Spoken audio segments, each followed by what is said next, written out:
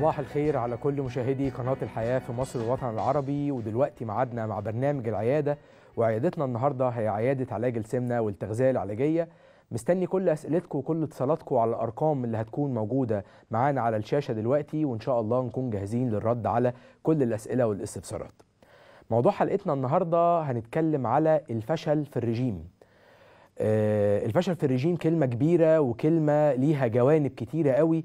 وناس كتيرة من اللي داخلة تجربة الرجيم بتبقى خايفة من الفشل فما بتحاولش حتى. أو يبقى سمع مثلا من واحد صاحبه أو حد جاره أو زميل ليه إنه بعد ما عمل رجيم وخس شوية للأسف رجع تخن تاني ورجع تخن أكتر من الأول.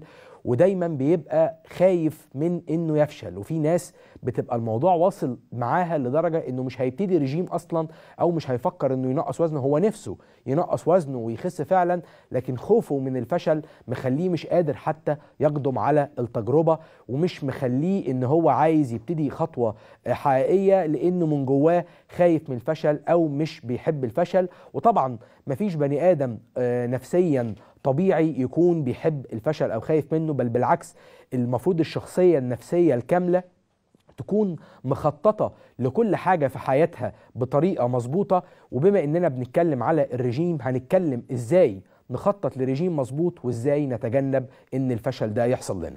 أنا اخترت الموضوع ده بالذات لأني بقابل كتير آه، مرضى من السمنة وتلاقيهم آه، لو تقعد تتكلم معاه بمجرد ما يبتدي يتكلم ويحكي يقول ده أنا عملت رجيم بس للأسف فشلت. آه، أصل أنا فعلا خسيت وبعد ما خسيت فشلت ما عرفتش أحافظ على وزني. وتلاقي كل مريض للسمنة أو كل مريض بيشتكي من وزن زيادة مفهومه عن الفشل وطريقة تعريفه للفشل مختلفة. عشان كده أنا هتكلم على الموضوع ده من جوانب كتيرة جدا وعايزين نعرف التعريف التقليدي للفشل في الرجيم اللي هو أي حد متخيله أو فاهمه إن هو عملت رجيم وخسيت وبعد ما خسيت رجعت تخنت أو عملت رجيم ولقيت مفيش نتيجة فسبت الرجيم وفشلت إن أنا أعمل أي حاجة. ولكن التعريف الحقيقي من وجهة نظري البسيطة إن ال- ال- الخوف من الفشل أو تعريف الفشل إن حضرتك أو حضرتك وإنتي بتعملي تجربة لإنقاص الوزن والإنقاص الدهون إن انت ما غيرتيش علاقتك مع أو ما غيرتش علاقتك مع الأكل ما غيرتش طريقة سلوكياتك وطريقة أكلك من حيث كميته ومن حيث ميعاده ومن حيث نوعه ومن حيث طريقة طبخه يعني لسه بتتعامل مع الأكل بمفهوم مش مظبوط أو بمفهوم محتاج بعض التعديلات عشان تنجح إن أنت تنقص وزنك وتنقص دهونك وكمان تنجح إن أنت ما ترجعش تزيد تاني وتتخن مرة تانية فيبقى بعدت تماما عن شبح الفشل.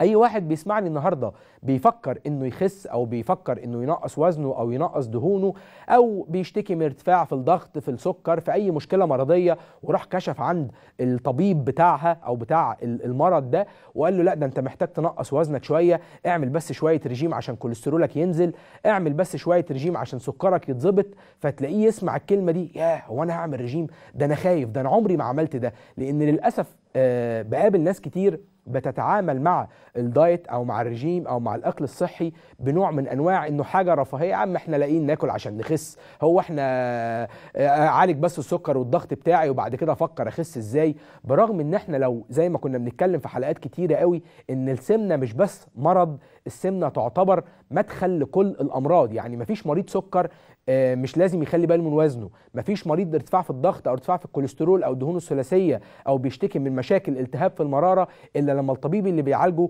لازم يقول له خلي بالك من وزنك أو خلي بالك من أكلك وراقب أنت بتاكل إيه. فنقدر النهارده نقول إن في 2017 علاج السمنة ما بقاش من الرفاهيات بل بالعكس بقى من الأساسيات. ولو بتشتكي من مشكلة ظهر من مشكلة ركبة من مشكلة مفاصل من مشكلة رقبة أي مشاكل صحية هنيجي نلاقي إن السمنة أو زيادة الوزن وزيادة الدهون يعتبر ليها دور أساسي وليها دور مهم جدا جدا في فعالية العلاج. يعني ما ينفعش مثلا يكون مريض سكر راح كشف عند طبيب للأمراض الباطنه أو طبيب للسكر ويقول له خلاص أنت هتاخد الدواء ده والدواء ده أو هنبتدي نستخدم إنسولين إلا لما يكمل كلامه دكتور الباطنه نفسه بيكمل كلامه لا أنت لازم تخلي بالك تبعد عن كذا أو كذا أو كذا وما تكترش من كذا وكذا وكذا أو الأفضل إنك تبتدي تتابع مع دكتور للتغذية عشان يحط لك بروجرام تبتدي تحافظ بيه على وزنك وتبتدي تحافظ بيه على دهونك وبالتالي لما تحافظ على وزنك وتحافظ على نسبة دهونك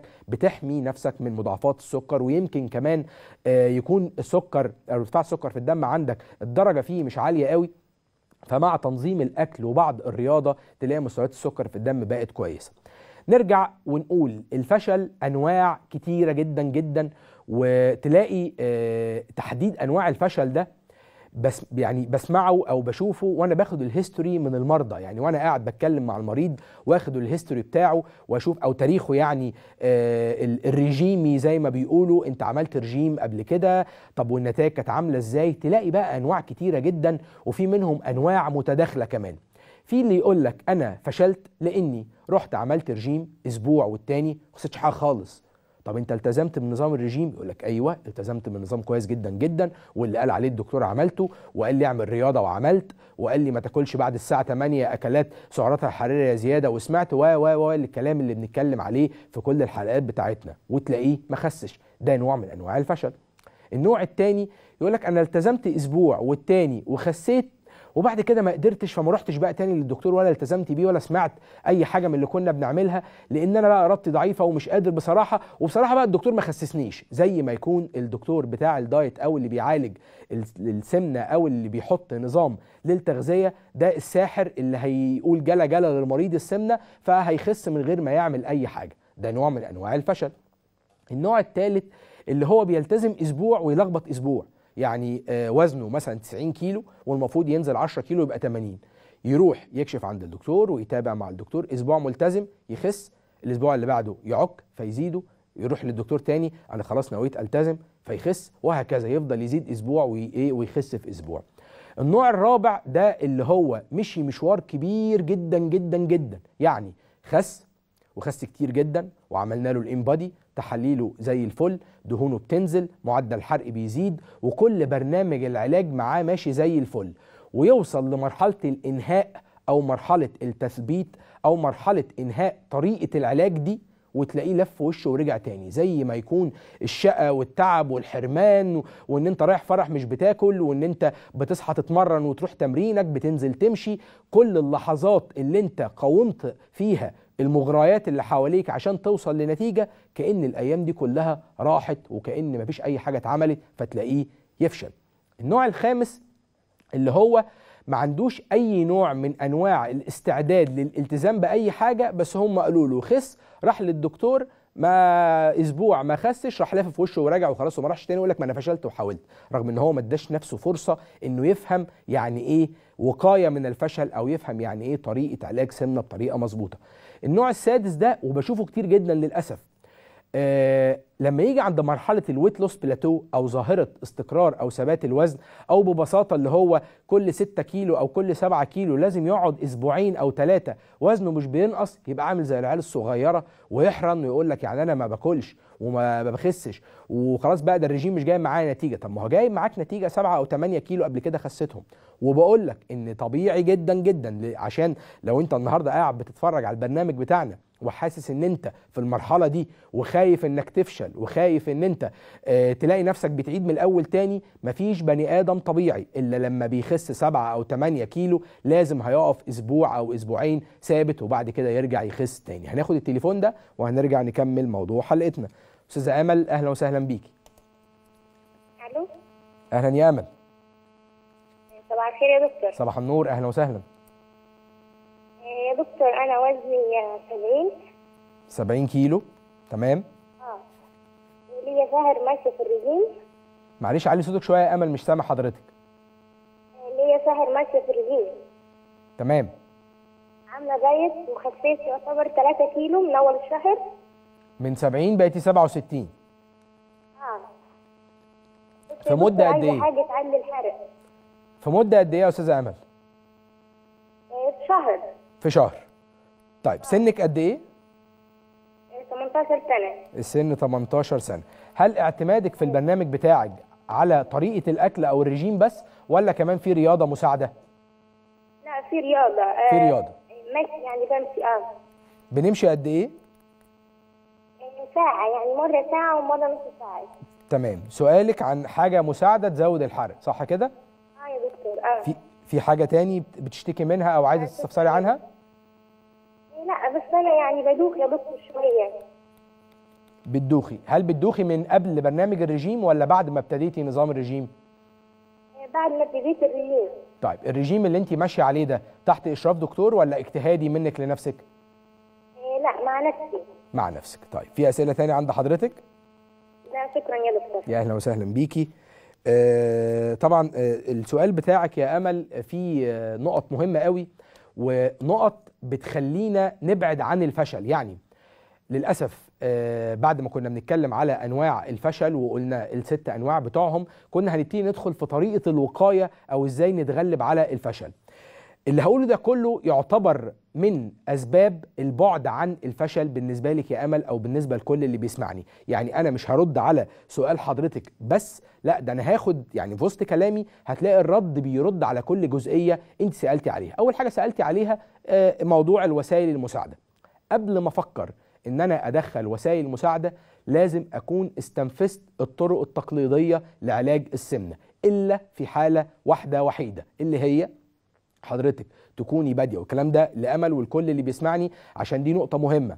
أنا لما بروح لدكتور عشان أخس بياخد مني هيستوري بياخد مني بعض البيانات غير طبعا الاسم والعنوان والكلام ده لا ال- البيانات اللي الدكتور بيبتدي يشتغل عليها لأن الناس للأسف بتبقى متخيلة إن هو بمجرد وزنه وخلاص يلا هناخد الرجيم الفلاني. لا طبعا. لما يكون مثلا أمل أهي وزنها آه، سبع- 70 كيلو وخست بقى بقت 67 كيلو يعني خست 3 كيلو في شهر. طيب ال 3 كيلو في شهر يعتبر رينج قليل شوية. أسأل أنا بقى طب ال 3 كيلو دول هل معاهم رجيم مظبوط؟ يعني قولي لي النظام اللي ماشي عليه تقول لك أنا باكل كذا كذا كذا كذا. لو لقينا لقيت فعلا كدكتور إن الرجيم ده مظبوط يبقى أنا ممكن أسأل على الجزئيه الثانية نوع الرياضة اللي بتتعمل ممكن تلاقي رد واحدة تقول لك ده أنا خسيت ال 3 كيلو دول من غير ما أعمل أي نوع من أنواع الرياضة خالص وما اتحركتش خالص. هل أنا أبتدي أديها دواء؟ لا طبعا. أبتدي في الأول أستخدم النظام الرياضي ولو إني دايما بأكد عشان تحقق أحسن نتيجة وأفضل نتيجة وامن نتيجة وشكل جسمك يتغير وأنت بتخس ابتدي من دي 1 مع أو من أول يوم في الرجيم بنظام التغذية والرياضة. بس الناس بتسمع كلمة رياضة دي تتخض. هو أنا قادر أعمل حاجة؟ ابتدي يا سيدي بالمشي. أنت لو جاي من فترة السكون أو من مرحلة السكون إن أنت ما بتعملش أي activity خالص على طول يا إما في عربيتك يا إما راكب المواصلات يا إما قاعد على مكتب يا إما بتدرس في الجامعة يعني ما فيش أي مجهود حركي بتعمله. لو ابتديت تمشي نص ساعة على الأقل كل يوم ولو في بداية اليوم مع نظام غذائي متوازن هتبتدي تخس وتبعد عن الفشل. طب فلنفرض ان هي ماشيه على رجيم كويس جدا جدا وبتعمل رياضة النص ساعة دي. أبتدي أزود بدل ما أنا نص ساعة تبقى ساعة إلا ربع. بدل ما أنا بمشي بس أبتدي لو في إمكانية أو وقت إن أنا أروح جيم أتمرن تمرينات معينة عشان تحسن من معدل الحرق عندي أو تبتدي لو عندي ضعف في العضلات يبتدي يقويها. فلنفرض بتعمل ده وده وده والنتيجة بقى قليلة أو مش موجودة أبتدي أدخل الدواء المساعد. الحاجة التانية اللي تخليني أدخل دواء أو وسيلة آه، حرق مساعدة من البداية لما يكون المريض اللي قدامي حالته الصحية فيها بعض المشاكل. زي مثلا مريض سكر هو already مريض السكر أو مرض السكر هو مرض في ال metabolism هو مرض في الحرق فعلا.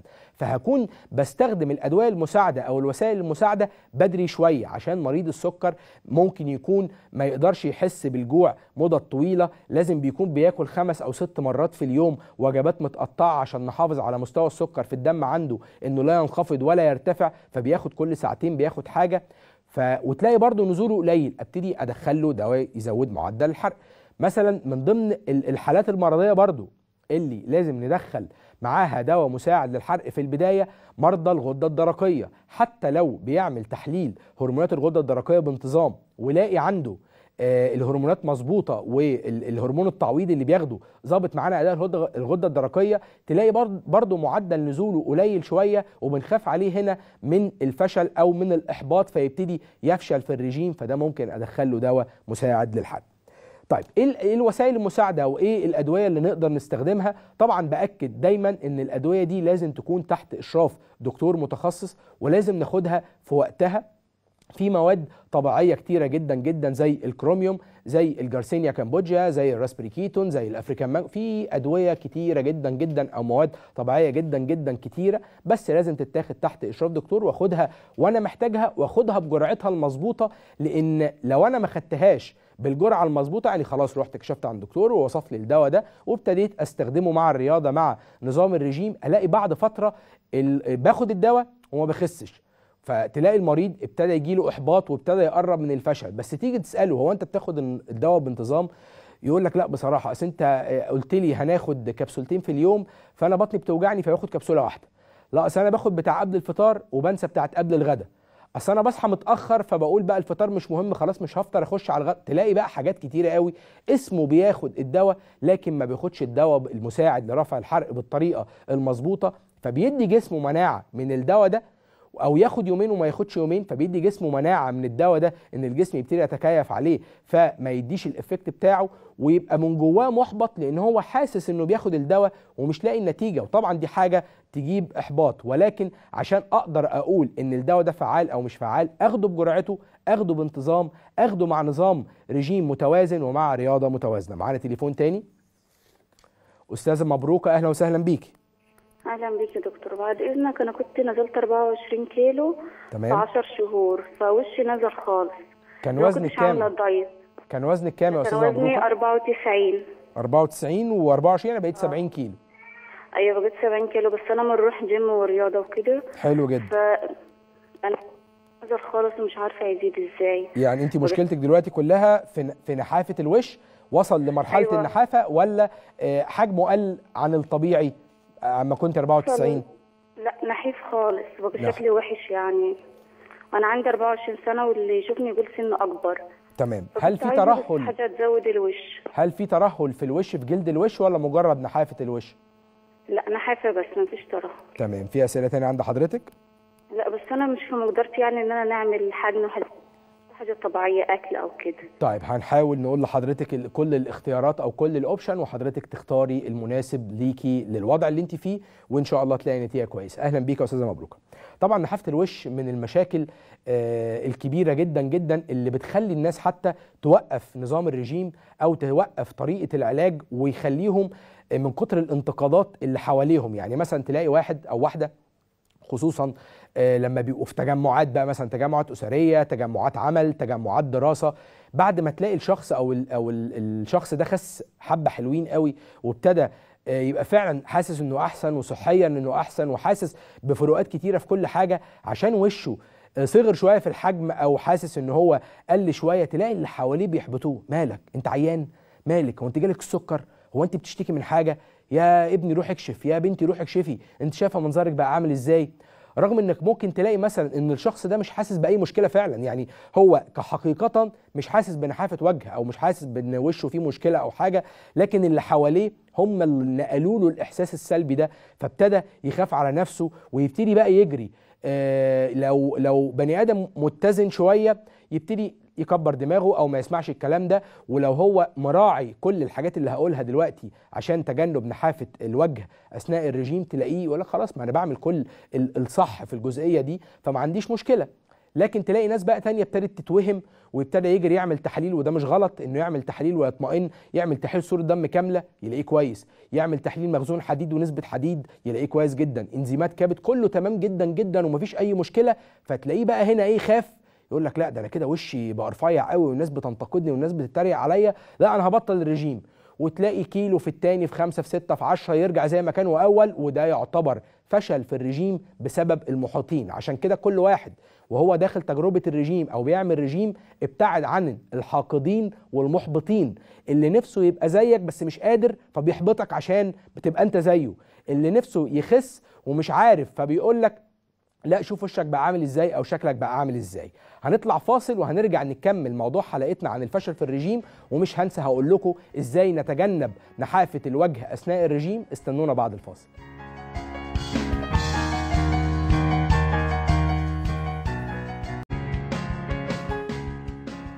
أهلا بيكم مرة تانية ورجعنا من بعد الفاصل. وكان معانا سؤال من الأستاذة مبروكة. بتسأل على إزاي آه، بعد ما خست حصل لها نحافة للوجه أو الوش بقى رفيع قوي أو نحيف قوي وكنا قلنا إن مش لازم إن إحنا نبص للي حوالينا بس أو نلاقي الإحباطات اللي حوالينا هي اللي مخليانا أو بتتحكم فينا أو تحسسنا بحاجة إحنا مش حاسين بيها. لكن طبعا أحيانا فعلا بيحصل نحافة لل- للوجه مع الرجيم. هتكلم دلوقتي على علاج النحافة للوجه بطريقتين. الطريق الأول اللي هو خلاص أنا عملت رجيم وما كنتش مخلي بالي من حاجات كتيرة قوي وفعلا بعد ما خسيت وشي بقى رفيع زيادة عن اللزوم ولازم هنا نفرق ما بين الرفع اللي بيحصل طبيعي لأن بيبقى فيه آه، بعض الدهون موجودة في الوش فلما بخس الدهون دي بتنزل فوشي بيبان أصغر شوية من حجمه وفي فرق ما بين إن فعلا يحصل نحافة شديدة جدا جدا مع ترهل في الجلد. الحل خلاص أنا آه، خسيت ووشي بقى رفيع. في الحل الأ- الأول إن أنا أبتدي آه، أتجه لدكاترة التجميل آه، سواء بإجراءات جراحية أو بإجراءات غير جراحية زي إن أنا مثلا أشفط دهون من منطقة واحقنها في وشي أو إن أنا أبتدي أستخدم الحقن المالئه أو الفيلر تحت إشراف دكتور الجلدية أو دكتور التجميل هم اللي بيعالجوا هذا النوع من الحالات. طيب فلنفرض إن أنا آه، مقدرتي مش قادرة أو وقتي لا يسمح أو أو أو أو ومش هقدر أروح لدكتور آه، أو كمان أنا لسه في بداية رجيم وعايز أتجنب إن يحصل نحافة للوجه.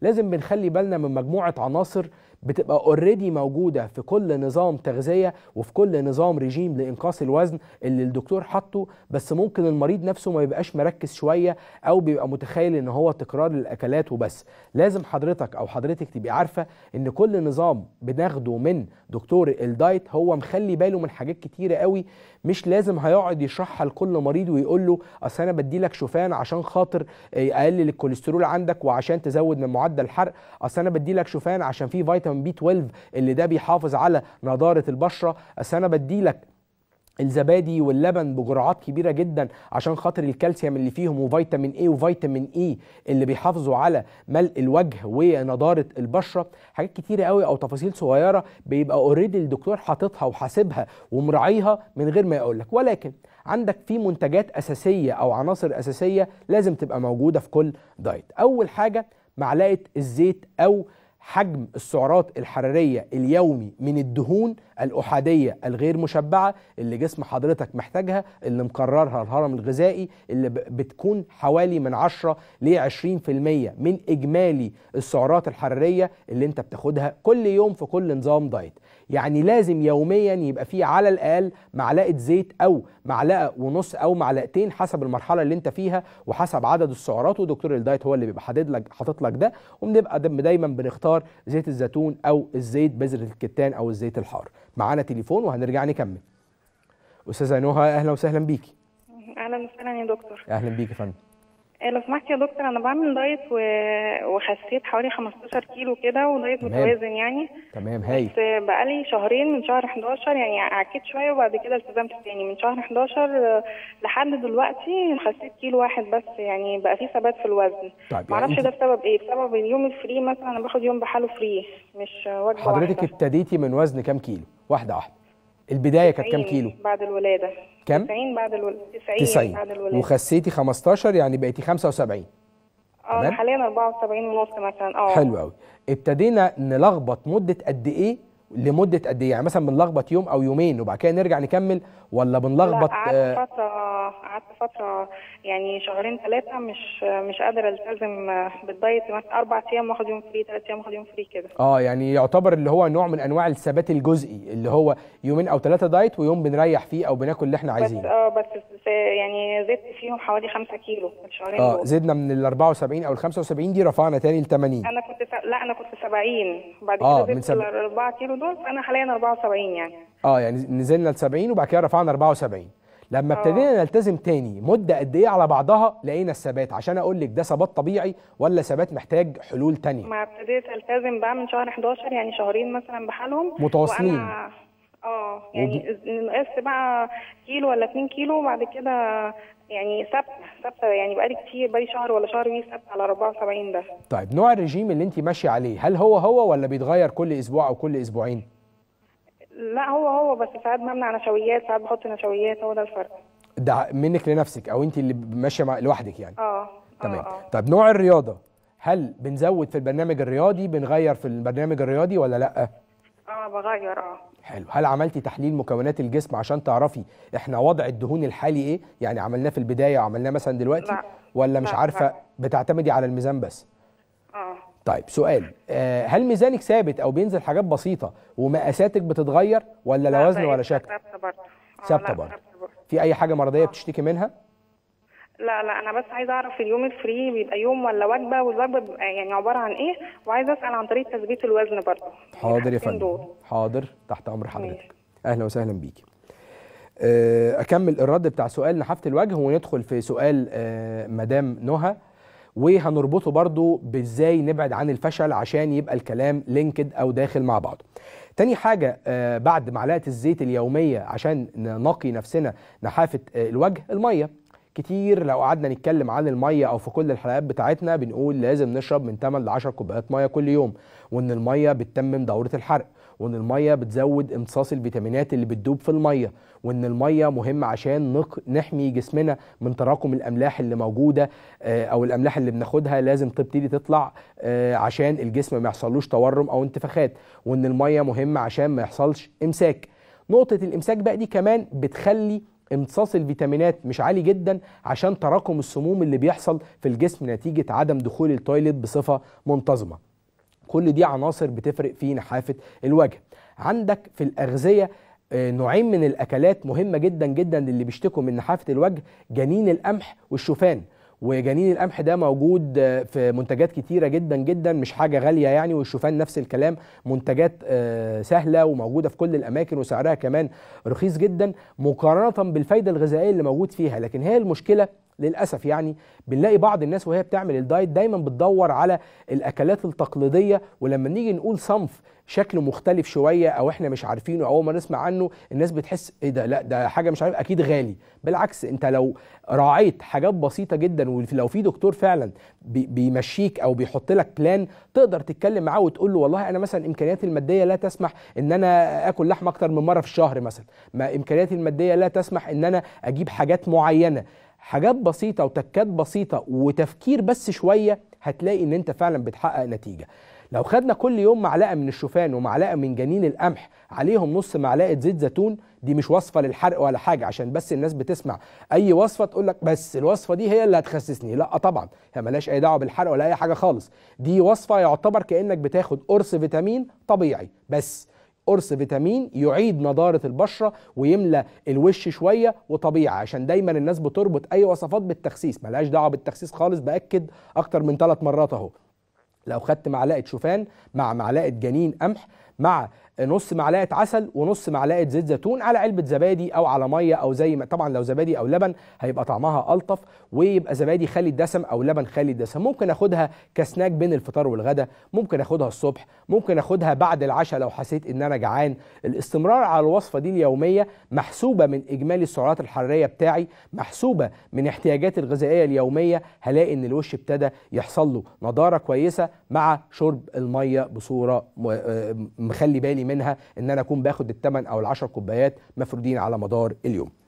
سؤال الأستاذة نهى كانت بتقول على هي قالت كذا حاجة بصراحة على مواصفات الوجبة المفتوحة أو اليوم المفتوح وهو وجبة ولا إيه ولا قد إيه. ونقدر نقول إن من ضمن أسباب الفشل في الرجيم الحقيقية هي فكرة الفري أو الوجبة المفتوحة أو اليوم المفتوح. لأن في جوانب أو تلاقي المرضى اللي بيشتكوا من السمنة أو من زيادة الوزن كل واحد باصص لموضوع بطريقة مختلفة. في اللي يقول لك لا ده انت لازم تاخد يوم مفتوح من أول أسبوع ولازم في اليوم المفتوح ده تاكل كل اللي نفسك فيه عشان آه تحس إن جسمك ابتدى يتلخبط فتبتدي تحرق وعشان أنت تبقى مبسوط وتقدر تكمل. الكلام ده نصه صح ونصه غلط. نصه إن أنا جسمك عشان يبتدي يحرق دي مش دلوقتي. يعني ببساطة جدا عشان الناس ما تتوهش في التفاصيل. احتياج الجسم البيولوجي للوجبة المفتوحة ما بيبتديش غير من بعد الأسبوع الرابع بعد شهر لأن الجسم بيبقى خلاص داخل على مرحلة البلاتو. وبعض الأجسام بيبقى بعد ست أسابيع. يعني سعادتك لو بتاخد من أول أسبوع ده عشان بس الجزء الثاني الجزء النفسي لأن إحنا بني آدمين ومحتاجين نكمل. أو الدكتور اللي بيعالجك مش عايزك تحبط أو يجي لك اكتئاب ولكن ليها مواصفات معينة. هناخد التليفون ده وهنرجع نكمل مواصفات اليوم المفتوح. أستاذة إيمان أهلا وسهلا بيكي أيوه. السلام عليكم. ازيك يا دكتور؟ الله وبركاته أهلا وسهلا. لو سمحت يا دكتور. أنا يعني أنا عملت رجيم كم مرة تمام. وخسيت وكده واخس وكده وابقى ماشيه على رجيم منتظم. كويس. وأرجع أسيب الرجيم وأخس تاني. بس أنا مشكلتي. دلوقتي إيه؟ حضرتك لما بتسيبي الرجيم بترجعي تتخني تاني؟ آه. تمام. بس أنا دلوقتي ماشيه ماشية منتظمة مع الدكتور وكده بس كويس جدا. أنا ما بقى اليومين دول بحس إن أنا ثابتة على طول ثابتة. بعد ما ما أروح خسيت الدكتور ألاقي نفسي ثابتة. بعد ما خسيتي كام كيلو يا إيمان؟ خسيت 22 كيلو. وبعد 22 كيلو ابتدى يحصل الثبات؟ أه. طب ده انت بطلة جدا وكويسة جدا جدا وعادي جدا جدا إنه يحصل ثبات. انت وزنك الحالي كام؟ أنا وزني دلوقتي 110 110 كنا 132 آه طيب هل بتتعاملي مع ال 110 دول آه، بنفس طريقة العلاج لل 132 يعني هل نفس نوع الرجيم نفس نوع الرياضة نفس مدة الرياضة؟ أنا ولا بمشي بتع- بمشي كل يوم آه، ساعتين إلا ربع كل يوم. ده من أول يوم وانت بتعملي كده ولا لما ابتدى الجسم ينزل شوية والثبات ابتدى يحصل ابتديتي لا تزودي مدة الرياضة؟ من قبل كده كنت بمشي ساعة. تمام. بعد كده قلت أزود المدة يمكن أنا احرق في الوقت دوت. حلو. نقطة تحليل مكونات الجسم اللي دايما بأكد عليها. هل عملتي الإنبادي أو تحليل مكونات الجسم عشان تعرفي نسبة الدهون كانت كام أيوه الدكتور عنده جهاز كده كويس. ح- حاطين عليه قاس نسبة الدهون وكده. كام بقى؟ ده أول مرة. لا هل أنا فترة أنا ما جيت في الفترة دي غيرت الدكتور وكده. حلل لي بقى نسبة الدهون وكده الفترة في الفترة الحالية من إمتى؟ حوالي الأسبوع اللي فات. حلو. كانت نسبة الدهون تقريبا كده كانت كام كيلو وبقت كام كيلو؟ دلوقتي حوالي أنا دلوقتي آه، هو حللها لي دلوقتي. أنا كنت سبت دكتور واحد تاني ورحت يعني سبت رحت تمام، الدكتور مفهوم. الدكتور ورحت دكتور تاني. آه أول مرة كانت كام؟ يعني مثلا كانت 50 كيلو زيادة وبقوا بقوا 20 أو 50 كيلو بقوا 30 ولا حوالي الأ- 50 آه. ده الوضع الحالي ولا القديم؟ ده القديم. القديم. النهارده أو من أسبوع فات كان آه، نسبة الدهون بقت كام كيلو؟ حوالي آه، 38 طيب، حلو جدا. إحنا خاسين 12 كيلو دهون. كلام جميل. آه. طيب معدل الحرق عالي بنفس الدرجة؟ علي؟ آه. مع- أنا عندي. وقال لي نسبة الحرق عندي كويسة. طب كويس بس أنا ما أعرفش ليه أنا ما احرقش تمام. طيب آه هنطلع فاصل يا أستاذة إيمان وهنرجع نرد على كل الأسئلة والنقط اللي انت قلتيها. استنونا بعد الفاصل.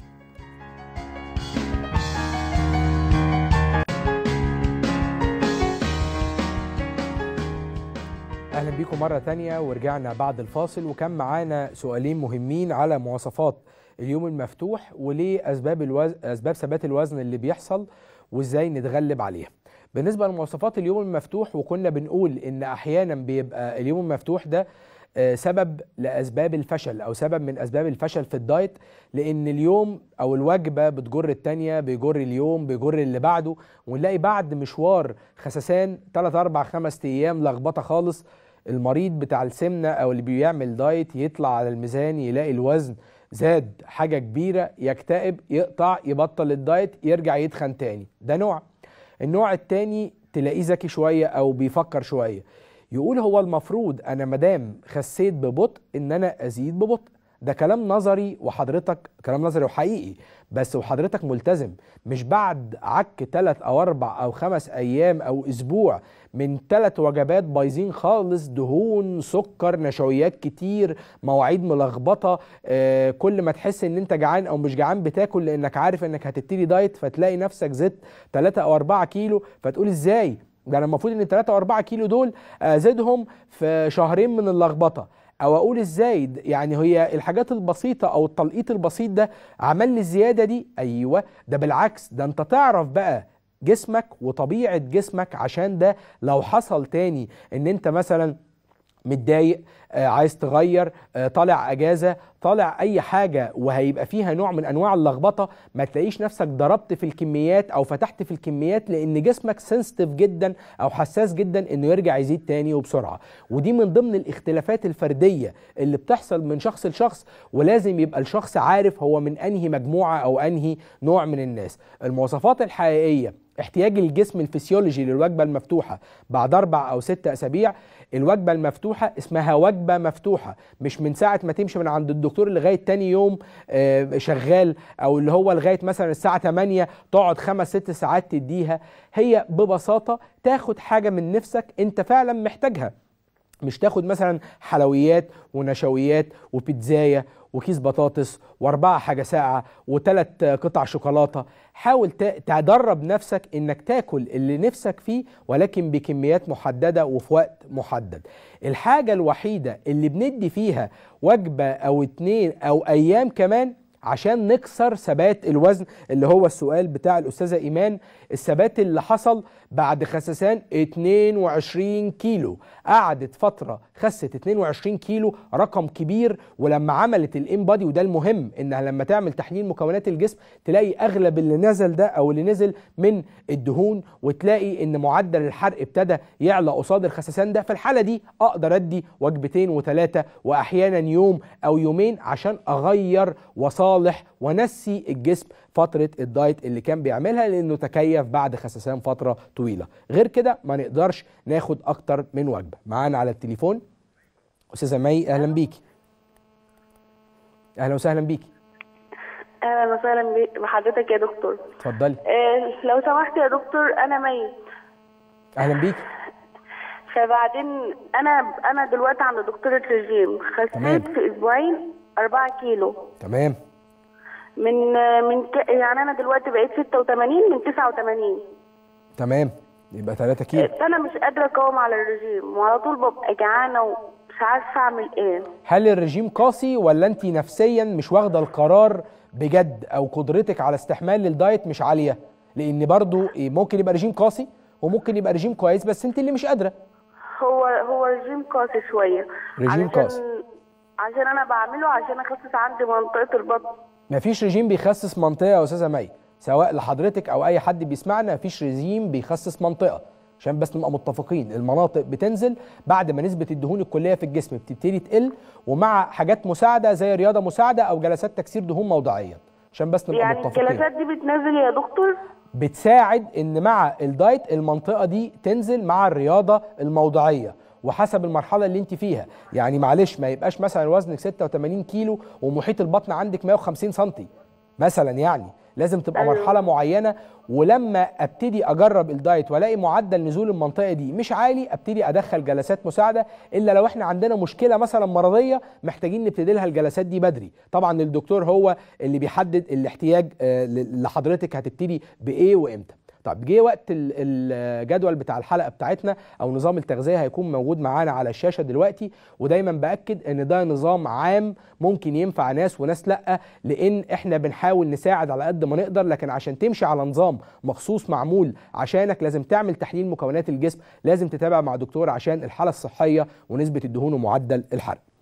النظام بتاع حلقتنا النهارده هو نظام الهرم الغذائي ومناسب للمرضى من وزن 70 ل 80 كيلو موجود معانا على الشاشة. اليوم الأول والثاني الفطار جبنة قريش ومعاه رغيف سن وسلطة والغدا 250 جرام بطاطا مسلوقة أو مشوية أو صينية في الفرن ومعاها سلطة زبادي وسلطة خضراء العشاء 2 كوباية زبادي وثمرة فاكهة. اليوم الثالث والرابع والخامس الفطار ست معالق فول عليهم معلقة زيت زيتون زائد رغيف سن زائد سلطة. والغدا ربع فرخة زائد طبق خضار مطبوخ ني في ني أو سوتيه. معاهم رغيف سن زائد سلطه العشاء كوباية لبن ومعاهم ثلاث معالق شوفان أو corn flakes ال diet اللي هو ال bran flakes أو اللي هو ال corn flakes بتاع الردة أو اتنين ثمره فاكهة. اليوم السادس والسابع الفطار كوباية لبن زائد اتنين ثمره فاكهة والغدا سمكة مشوية أو علبة تونة زائد رغيف سن زائد سلطة والعشاء اتنين بيضة مسلوقة. الملاحظات الهامة جدا وأساسية جدا جدا بعد الفطار بساعتين وبعد الغداء بساعتين كوجبة خفيفة كوباية زبادي أو لبن عليها معلقة شوفان وممكن للي عنده نحافة الوجه يبتدي يزود معاها معلقة جنين قمح أو ثمرة فاكهة أو جزرة. وبين الوجبات لو حسيت أكتر إن أنت جعان خيار وخس وفلفل رومي وممكن شوربة خضار بدون بطاطس عشان نسبة الألياف اللي فيها أو خضار سوتيه. عندنا لازم نشرب العشر كوبايات مية كل يوم ولازم نمشي نص ساعة على الأقل يوميا ونلتزم بترتيب الأيام وأنواع الأكل. أتمنى أن يكون لحقنا نكتب ال ال ال diet عشان نبتدي ناخد قرار وفعلا نبتدي ننقص وزننا. لازم برضو الناس اللي بتشتكي من آه، ثبات الوزن وخايفة يحصل لها فشل أو يحصل لها إحباط ممكن نكسر ال diet يومين أو ثلاثة تحت إشراف دكتور وبعد كده نرجع آه، نلتزم تاني بال diet. ممكن نعمل أيام الديتوكس الأيام الثلاث أيام اللي فيهم عصير الديتوكس وممكن نبقى نتكلم عليه بالتفصيل في حلقة قريبة إن شاء الله.